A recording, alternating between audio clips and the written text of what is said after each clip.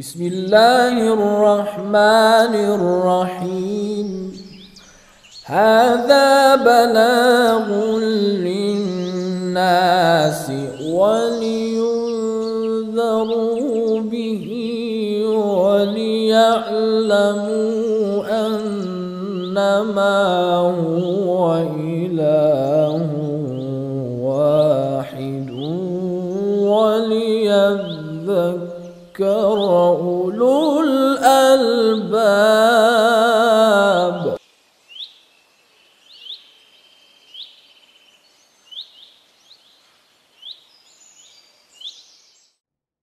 بسم الله الرحمن الرحيم. الحمد لله رب العالمين والصلاة والسلام على سيدنا محمد وآله الطيبين الطاهرين. வா சுஹாபிஹிம் உல் எல்லா புகழும் அல்லாஹுக்கு. அன்பார்ந்த சகோதர சகோதரிகளுக்கு அஸ்ஸலாமு அலைக்கும் வரமத்துல்லாஹி தாலா வபரகாத்துஹும் நாலாந்த இமாமி அக்கிதா மஜ்லிஸில் உங்களை சந்திப்பதை இட்டு மிகவும் சந்தோஷமடைகின்றேன் இச்சந்தர்ப்பத்தை வழங்கிய எல்லாம் உள்ள அல்லாஹுக்கு எல்லா புகழும். நாங்கள் சென்ற அக்கிதா மஜ்லிஸில் இறைவனை நாங்கள் அறிந்து கொள்வதற்காக வேண்டி பல வழிகள் உள்ளது. அவைகளில் இரண்டு ரி- இரண்டு வழிகளை பார்த்தோம். முதலாவது வழி ஃபித்ரத் என்று சொன்னோம். அந்த ஃபித்ரத்தின் முக்கியத்துவம் அதில் மனிதனுக்கு எவ்வாறு வழிகாட்டுகின்றது. அதனை சிலர்கள் அந்த ஃபித்ரத்துக்கு எதிரான சில விமர்சனங்களை எழுப்பியிருந்தார்கள். அதை நாங்கள் அழகான முறையில் அறிவுபூர்வமாக அதற்கு விடையை விடையை கொடுத்தோம். இரண்டாவதாக மனிதனை சுற்றிருக்கின்ற அந்த சூழல்களை பார்க்கின்ற பொழுது ஒவ்வொரு மனிதனும் அந்த ஒழுங்கான சீரான அந்த படைப்பினங்களை பார்க்கின்ற பொழுது இறைவன் இருக்கின்றான். இறைவனை தவிர வேறு யாரும் இதை படைத்திருக்க முடியாது. இந்த ஒழுங்குகளை இந்த இணைப்புகளை ஒவ்வொரு உயிரினங்களுக்கும் இருக்கின்ற அந்த தொடர்புகளை இறைவனை தவிர வேறு யாராலும் இதை கொடுத்திருக்க முடியாது என்று ஒவ்வொரு மனிதனும் அறிவான் இதை நம்பிக்கை கொண்டிருக்கின்றான். அது யாராக இருந்தாலும் சரி. ஏன் என்று சொன்னால் இ- இவ்வாறான ஒழுங்குகளை பார்க்கின்ற பொழுதும் ஒரு மனிதன் இவ்வாறான படைப்பினங்கள் இந்த தனக்கு முன்னால் இருக்கின்ற படைப்பினங்கள் உயிரினங்கள் இயற்கையாகவே படைத்து படைக்கப்பட்டிருக்க முடியாது. அதே போன்று எதர்ச்சியாக படைக்கப்பட்டிருக்க முடியாது என்பதனை அறிந்து கொள்கின்றான். அது ஒரு நாஸ்திகனாக இருந்தாலும் சரி நாஸ்திகன் தனது உள்ளத்தில் சில சமயங்களில் இறைவன் இருக்கின்றான் என்பதை நம்புகின்றான். ஆனால் இந்த அவனுடைய விதண்டாவாதம் இந்த உலகத்தில் மூழ்கியிருக்கின்ற அந்த மூழ்கியிருக்கின்ற அந்த விடயத்தின் காரணத்தினால் அவன் இறைவன் இல்லை என்று பேச்சால் மாத்திரம் சொல்லிக் கொண்டிருக்கின்றான். நாங்கள் அதன் தொடர்ச்சியாக ஒரு உதாரணத்தை நாங்கள் பார்ப்போம். மனிதனுடைய அந்த உறுப்புகளில் முக்கியமான ஒரு உறுப்பு தான் இந்த மூளையாக இருந்து கொண்டிருக்கின்றது. மனிதன் இந்த மூளை இல்லை என்று சொன்னால் அவன் கரண்டு அதாவது லைட் இருக்கின்றது ஃப்ரிட்ஜ் இருக்கின்றது எல்லாம் இருக்கின்றது எல்லா மின்சார உபகரணங்களும் இருக்கின்றது. ஆனால் கரண்ட் இல்லை. க- கரண்ட் இருந்தும் பீஸ்கட்டை கலட்டி விட்டோம். எந்த பிரயோஜனமும் இல்லை. இது இந்த இந்த மின்சார உபகரணங்களை பயன்படுத்த வேண்டும் என்று சொன்னால் அந்த பீஸ்கட்டை இருக்க வேண்டும். அந்த பீஸ்கட்டை இருந்தாலும் கூட கரண்ட் இருக்க வேண்டும். அதே அந்த பீஸ்கட்டை நாங்கள் கலற்றி விட்டால் கரண்ட் இருந்தாலும் கூட இந்த மின்சார உபகரணங்களை பாவிக்க பயன்படுத்த முடியாது. அதே போன்று தான் இந்த மூளை. இந்த மூளை இல்லை என்று சொன்னால் ஒரு மனிதன் என்னத்தை பேசினாலோ என்னத்தை பார்த்தாலோ அவன் உணர்ந்து கொள்ள முடியாது. அவன் பார்த்து கொண்டிருப்பான் ஆனால் உணர முடியாது. என்ன என்று உணர முடியாது. நாங்கள் அடிக்கடி பார்க்கின்ற ஒரு கசப்பான சம்பவம் தான் வாகனங்கள் மோதிக்கொள்கின்றது. ஒரு தனி மனிதன் மனித சுதந்திரங்களை மனித உரிமைகளை பேண வேண்டும். அது வாகனம் ஓட்டுகின்ற சமயத்தில் இருந்தாலும் சரி தான் பேசுகின்ற சமயத்திலாக இருந்தாலும் சரி ஒரு எழுத்து எழு எழுதுகின்ற சமயத்தில் சமயத்திலாக இருந்தாலும் சரி ஒரு மனிதன் மனித உரிமைகளை பேண வேண்டும். இவ்வாறு உரிமைகளை பேணாத சமயத்தில் ஒரு கசப்பான சம்பவங்களுக்கு அவன் உள்ளாக்கப்படுகின்றான். உதாரணமாக நாங்கள் அடிக்கடி பார்க்கின்ற சம்பவம் நாங்கள் கண்ணால் பார்க்கின்ற சம்பவம் சம்பவம் கேள்விப்படுகின்ற சம்பவம். வாகனத்துக்குரிய அந்த சட்டங்களை ஒரு மனிதன் பேணாமல் இருக்கின்ற சமயத்தில் இன்னொரு வாகனங்களோடு மோ மோதுகின்றான். அவன் மோதப்பட்டு அந்த இடத்தில் மயக்க முடிகின்ற சமயத்தில் அவனை வைத்தியசாலையை கொண்டு செல்கின்றார்கள். அந்த வைத்தியசாலையிலிருந்து அவன் முழித்த பிரகாரம் அவன் அவனுடைய உடம்பு சீராக இருக்கின்றது அவன் ஆரோக்கியமாக இருக்கின்றான். ஆனால் மூளையில் அதாவது அவனுடைய தலையில் பட்ட அந்த அடியின் காரணத்தினால் மூளை வேலை செய்வதில்லை. மூளை எதையும் எந்த செயற்பாடும் இல்லை. அந்த சமயத்தில் அவனுடைய அந்த அவன் கண்டுபிடித்த கண்டுபிடிப்பாக இருந்தாலும் சரி அவனை பெற்றெடுத்த தாயாக இருந்தாலும் சரி அவனுடைய தந்தையாக இருந்தாலும் சரி அவனோட ஒன்றாக பிறந்த சகோதர சகோதரியாக இருந்தாலும் சரி யார் வந்து தன்னை அறிமுகப்படுத்தினாலும் அவன் இவர்கள் தன்னுடைய உறவினர்கள் என்னுடைய தந்தை நான் கண்டுபிடித்த அந்த கல் அந்த கண்டுபிடிப்புகள் என்று உணர முடியாது. இந்த மூளையை அல்லாஹாக்கு சுபஹானத்தில் எங்களுக்கு தந்திருக்கின்றான். இந்த மூளையை நாங்கள் ஒழுங்காக பயன்படுத்துவோம் என்று சொன்னால் இந்த மூளையை பற்றி நாங்கள் யோசித்து கூட இறைவனை நாங்கள் அறிந்து கொள்ள முடியும்.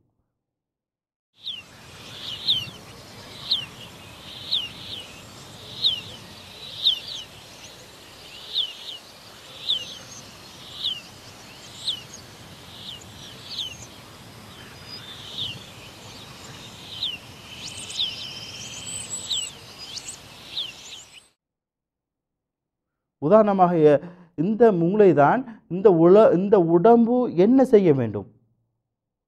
இந்த இதயம் எங்கு இரத்தங்களை பாய்ச்ச வேண்டும்? மனிதன் எவ்வாறு பேச வேண்டும்? மனிதன் எந்த பக்கம் பார்க்க வேண்டும்? மனிதன் தன்னுடைய கையை எங்கால் அசைக்க வேண்டும்? எவ்வாறு சிந்திக்க வேண்டும்? போன்ற இந்த விடயங்களை இந்த மூளைதான் ஒவ்வொரு ஒவ்வொரு உறுப்புகளுக்கும் கட்டளை பிறப்பித்துக் கொண்டிருக்கின்றது. உதாரணமாக நாங்கள் பார்ப்போம். நாங்கள் பாதனை அணிந்து கொண்டிருக்கின்றோம். அந்த பாதனைக்கு கீழே ஒரு கல் குத்திருக்கின்றது அல்ல முள்ளு குத்திருக்கின்றது அல்ல ஏதோ ஒரு அருவருப்பான ஒரு விடயம் இருக்கின்றது என்பதனை இந்த மூளை உடனடியாக காலுக்கு சொல்கின்றது உனது பாதனை அணிந்திருக்க அந்த பாதனையில் கீழே கல் இருக்கின்றது. அவதானமாக நடந்து கொள். அல்லது எடுத்து விட்டு வீசு எடுத்து வீசு ஓரத்தில் போடு என்று சொல்லி இந்த மூளை கட்டளை பிறப்பிக்கின்றது. அவ்வளவு சக்தி வாய்ந்த மூளை அல்லாஹ் தந்திருக்கின்றான். இவ்வாறான ஒழுங்காக இந்த உணவு இருக்க வேண்டும். இந்த ஒவ்வொன்றும் ஒவ்வொரு கட்டுப்பாட்டுகள் இருக்க வேண்டும் என்பதற்காக வேண்டி மூளையை தந்திருக்கின்றான். நாங்கள் அந்த பாதனை எடுத்து பார்க்கின்ற பொழுது அந்த மூளை எண்ணத்தை கூறுகின்றது ஒரு அருவறுப்பான விஷயம் இருக்கின்றது ஒரு முள் இருக்கின்றது கல் இருக்கின்றது என்று அந்த மூளை கூறி அந்த விடயத்தை நாங்கள் கண்ணால் பார்க்கின்றோம். அந்த பாதனையில் இருக்கின்றது. சில சமயங்களில் எங்களை அந்த மூளை பாதுகாக்கின்றது. நாங்கள் செல்கின்ற சென்று கொண்டிருக்கின்ற போது மூளை ஏதோ ஒரு விஷயத்தை யோசித்து சொல்கின்றது நீ செல்கின்ற பாதையில் ஏதோ உனக்கு தீங்கட ஏற்படலாம். மனது சொல்லி மன மூளையில் யோசித்து நாங்கள் அதை அமுல்படுத்துகின்றோம். அந்த புறாவும் செய்ய வேண்டிய அடி வளமையாக செய்யக்கூடிய செ- வேலை என்ன? தனக்கு உணவுகளை கண்டால் அதை கொத்தி தின்னும் நீர் குடிக்கும் உறங்கும் பறக்கும். அந்த பறக்கின்ற சமயத்தில் ஏ ஏதாவது ஒரு தடைகள் இருந்து அந்த தடைகளை கடந்து பறக்கும். இவ்வளோ காலத்துக்கும் யாரும் கேள்விப்படாத ஒரு சம்பவம் தான் பறவைகள் பறக்கின்ற சமயத்தில் தடைகளில் ஒரு மரத்தில் முட்டியோ அல்லது சுவரில் முட்டியோ தான் செத்ததாக யாரும் கேள்விப்படவில்லை. அவ்வாறு நடந்தெல்லாம் ஒரு அரிதான விடயம். அந்த அரிதும் கூட ஏதோ ஒரு காரணத்துக்காக வேண்டி அந்த பறவை முட்டி அல்லது கண் விளங்காமல் இருக்கலாம் அல்லது வேறொரு காரணத்துக்காக வேண்டி. இந்த பறவைகள் இந்த சுவரிலோ அல்லது இது மரங்களிலோ அதை முட்டி இறந்திருக்கலாம். ஒரு அரிதான விடயம் அரிது என்பது அந்நாதிற்கல் ஆதம். அரிது என்பது இல்லாததை போன்றுதான். நாங்கள் அதிகமாக பார்ப்போம் என்று சொன்னால் எந்த பறவையும் ஒரு மரத்திலோ அல்லது சுவரிலோ அல்லது ஏதோ ஒரு இடத்திலோ முட்டி இறந்ததாக யாரும் கேள்விப்பட்டதும் இல்லை கே பார்க்கவும் இல்லை. ஆனால் இப்பொழுது ஒரு புறாவை எடுத்துக்கொள்வோம். அந்த புறாவுக்கு இருக்கின்ற அந்த சிறிய மூளையை நாங்கள் எடுத்துவிட்டு இப்போ அந்த புறாவை ப நாங்கள் ஆய்வுக்கு உட்படுத்துகின்ற பொழுது அந்த புறாவுக்கு முன்னால் நெல்மணியை வைத்தால் கூட அந்த அந்த நெல்மணியை கொத்தி தின்னாது. அது எவ்வளோ பசியோடு இருந்தாலும் சரி. அந்த நெல்மணியை க சும்மா கூட பார்த்து கொண்டிருக்கும் ஆனால் கொத்தி தின்னுவதற்கு அதுக்கு மூளை வேலை செய்யாது. ஏன்னா மூளை இல்லை. அவ்வளோக்கு முக்கியமான ஒன்றாக இருக்கின்றது இந்த மூளை. அல்லது இந்த புறாவை நாங்கள் என்ன செய்வோம்? பறக்குவதற்கு தூண்டுவோம். அந்த பறக்கின்ற அந்த சமயத்தில் கூட அந்த புறா தன்னை ஒரு பலவீனமாக கருதும். ஏதாவது ஒரு பறங்கின்ற சமயத்தில் தன்னால் பறக்க முடியாது. முதலாவது அவ்வாறு பறந்தாலும் கூட ஒரு மரத்திலோ அல்லது ஒரு சுவரிலோ ஏதோ ஒரு தடையில் முட்டி அது இறக்கிறதுக்கு வாய்ப்பாக இருக்கின்றது. இவ்வாறு சக்தி வாய்ந்த மூளையை அல்லாஹ் எங்களுக்கு தந்திருக்கின்றான். முதலாவது இந்த மூளை எங்களுக்கு கட்டளை பிறப்பிக்கின்றது. எவ்வாறு பார்க்க வேண்டும் எவ்வாறு செய்ய வேண்டும் ஒவ்வொ- எவ்வாறு சாப்பிட வேண்டும் எவ்வாறு மற்றவரோட பேச வேண்டும் எவ்வாறு எழுத வேண்டும் என்னென்ன விடயங்களை செய்ய வேண்டும் என்ற போன்ற அந்த கட்டளைகளை இந்த மூளை எங்களுக்கு தருகின்றது. அதே போன்று இந்த மூளை செய்கின்ற ஒரு விடயம்தான் எல்லா விடயங்களையும் தண்ணில் பதிந்து வைத்து பதித்து வைத்திருக்கின்றது. நாங்கள் ஒரு மனிதனை பார்க்கின்ற சமயத்தில் அந்த மூளை உடனடியாக செய்கின்ற வேலை என்னன்னு சொன்னால் இந்த மனிதன் எவ்வாறான விடை எவ்வாறான மனிதன்? இவன் எங்களோட அன்பு கொண்டிருக்கின்ற மனிதனா எங்களோட அன் நண்பனா அல்லது எதிரியா என்று உடனடியாக ஒரு நிமிடத்துக்குள் அனைத்து தகவல்களையும் தருகின்றது. அந்த தகவல்களை தருகின்ற பொழுதுதான் நாங்கள் அந்த மனிதனோடு எவ்வாறு நடக்க வேண்டும்? புன்முறுவல் பூர்த்து அவனோட பேச வேண்டுமா? அல்லது கோபமாக பேச வேண்டுமா? சந்தோஷமாக பேச வேண்டுமா? என்பதை இந்த மூளை எங்களுக்கு கட்டளை பிறப்பிப்பதன் மூலமாக நாங்கள் அந்த மனிதனோடு பேசுகின்றோம். எங்களுடைய மூளையில் இருக்கின்ற அந்த தகவல்கள் அங்கே எங்களுக்கு த இருக்கின்ற அந்த விடயங்களை நாங்கள் ஒரு பேப்பரிலோ அல்லது ஒரு வே ஒரு இடத்திலோ நாங்கள் பதிய வேண்டும் என்று சொன்னால் கிலோ கணக்கில் எத்தனையோ ஆயிரக்கணக்கான எத்தனையோ கோடிக்கணக்கான பேப்பர்கள் எங்களுக்கு தேவைப்படுகின்றது. அல்ல ஒரு யூஎஸ்பியிலோ அல்லது ஒரு சிடியிலோ அல்லது வேறு வேறு விடயங்களை நாங்கள் எங்களுடைய தலையில் எங்கள் மூளையில் இருக்கின்ற அந்த பதிவுகளை நாங்கள் பதிய போகின்ற சமயத்தில் டவுன்லோட் பண்ண போகின்ற சமயத்தில் எங்களுக்கு எத்தனையோ ஜிபி எத்தனை ட்ராபைட் எத்தனையோ வகையான பேப்பர்கள் எத்தனையோ வகையான யூஎஸ்பிகள் தேவைப்படுகின்றது. ஆனால் இந்த அனைத்து விடயங்களும் எங்களுடைய மூளை இந்த சிறிய மூளையில் அல்லாஹ் எங்களுக்கு வைத்து தந்திருக்கின்றான். இதனை இவ்வாறான சீராக இயங்கக்கூடிய இந்த மூளையை பற்றி நாங்கள் யோசிக்கின்ற சமயத்தில் சிந்திக்கின்ற சமயத்தில் இறைவனை நாங்கள் அறிந்து கொள்ள முடியும்.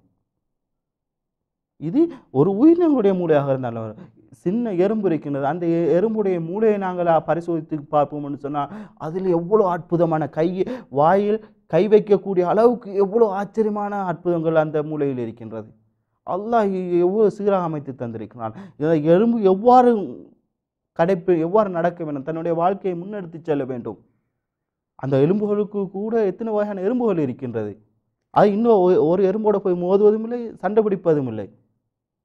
அந்த எறும்பு வந்து யா எண்ணத்தை பாதுகாக்க வேண்டும்? யார் தனது கூட்டை பாதுகாக்க வேண்டும்? யார் பிள்ளைகளை பாதுகாக்க வேண்டும்? தா யார் சாப்பாடுகளை கொண்டு வர வேண்டும்? என்று அந்த எறும்புனுடைய அந்த மூளையை அல்லாஹுக்கு சுபான ஒரு விதியை கொடுத்திருக்கிறான். அந்த மூளை இந்த மூளை அதுக்கு செயற்பாடுகளை கட்டளை பிறப்பிக்கின்றது. அவ்வாறு இந்த மூளையை நாங்கள் ஒழுங்காக பயன்படுத்துகின்ற சமயத்தில் நாங்கள் இறைவன் இருக்கின்றான் என்பதை அறிந்து கொள்ள முடியும். அதைத்தான் அல்லாஹுக்கு சுபஹான தஆலா கூறியிருக்கின்றான் ஒஃபி அன்ஃபுசிக்கும் அபலா அஃபலா துபசிரூன் இது சூரத்து தாரியாத் முப்பத்தோராவது ஆயத்தில் உள்ளது. இந்த வசனம். இந்த வசனத்தை நாங்கள் உன்னிப்பாக பார்க்கின்ற பொழுது அல்லாஹாக்கு சுபஹானஹு தஆலா ஒஃபி அன்ஃபுசிக்கும் உங்களை பற்றி நீங்கள் அஃப்- அஃபலா துபசிரூன் நீங்கள் உன்னிப்பாக கவனிக்கக்கூடாதா? என்று கேட்கின்றான். இறை இலக்கியம் அரபு இலக்கியம் தென் நாங்கள் பார்க்கின்ற ஒன்றுதான். பசர அபுசர் இரண்டுக்கும் வித்தியாசமான கருத்துக்கள் உள்ளது. பசர் என்று சொன்னால் மேலோட்டமாக பார்த்தல். ம இந்த உலக உலகத்தை நாங்கள் பார்க்கின்ற பொழுது நாங்கள் சில சமயங்களில் பசர் துகு நான் அவனை பார்த்தேன். கண் மேலோட்டமாக நான் பார்த்தேன். அபுசர் துகு நான் அவனுடைய சிந்தனை அவனுடைய உள்ளத்தில் என்ன இருக்கின்றது என்பதை உன்னிப்பாக கவனித்தேன். அதைத்தான் இறைவன் சொல்லியிருக்கின்றான். ஒஃபி அன்புசிக்கும் அஃபலா துபசிரோன் உங்களோட உள்ளத்தை நீங்கள் உங்களை பற்றி நீங்கள் உன்னிப்பாக கவனிக்கக்கூடாதா நாங்கள் மறுமை நாளிலும் கூட மறுமை நாளுடைய விடயத்திலும் கூட அல்லாஹுக்கு சுபஹானாவத்தால அபுசர் என்ற அந்த வசனத்தை அந்த இல இந்த சொல்லையை பயன்படுத்தியிருக்கின்றான். ஆக இந்த எங்களுடைய இந்த விடயங்களை எங்களுடைய உறுப்பு எங்களுடைய உறுப்புகளை மற்ற உறுப்புகளை மற்ற உயிரினங்களுடைய அந்த உறுப்புகளை இந்த மூளையை மாத்திரம் நாங்கள் பயன்படுத்துவோம் என்று சொன்னால் இந்த மூளை பற்றி நாங்கள் ஆய்வு செய்வோம் என்று சொன்னால் இறைவன் இருக்கின்றான். இந்த இறைவன் தான் எங்களுக்கு இந்த ஒழுங்கை தந்திருக்கின்றான். இந்த மூளையின் மூலமாக எங்களுடைய உடம்பு இயங்கிக் கொண்டிருக்கின்றது. அதே போன்று வேறு உயிரினங்களை இயங்கிக் கொண்டிருக்கின்றது. இந்த இயக்கத்தை உரிய வழியை கொடுத்திருக்கின்ற அந்த சக்தியை கொடுத்திருக்கின்ற இந்த மூளை தான் இந்த மூளையை படைத்த இறைவன் இருக்கின்றான் என்பதனை இந்த மூளை எங்களுக்கு காட்டித் தருகின்றது. ஆகவேதான் அல்லாஹாக்கு சுபஹானவு தாலா தந்திருக்கின்ற இந்த மூளையை நாங்கள் ஒழுங்காக பயன்படுத்துவோம் என்று சொன்னால் இறைவனை நாங்கள் அறிய முடியும். இறைவனை அறிவதன் மூலமாக ஒழுங்காக அறிவதன் மூலமாக இறைவனை ஒழுங்காக ஏற்றுக்கொள்ள முடியும். அந்த அவ்வாறு ஏற்றுக்கொள்வது மூலமாகத்தான் அவ்வாறு நாங்கள் நடந்து கொள்வது மூலமாகத்தான் நாங்கள் இறைவனை உண்மையான அடியானாக மாறுவோம். எனவேதான் அல்லாஹாக்கு சுபஹானவு தாலா எங்களை உண்மையான நல்ல அடியானாக அவனின் திருப்பொருத்தத்துக்கு உரிய நல்ல அடியானாக ஆக்குவதற்கு எல்லாம் அல்ல அல்லாஹாக்கு சுபஹானவு தாலா அருள் புரிவானாக. ஆமீன் ஆமீன். யாரபல் ஆலமீன். அஸ்ஸலாமு அலைக்கும் வரஹ்மத்துல்லாஹி வபரகாத்துஹு.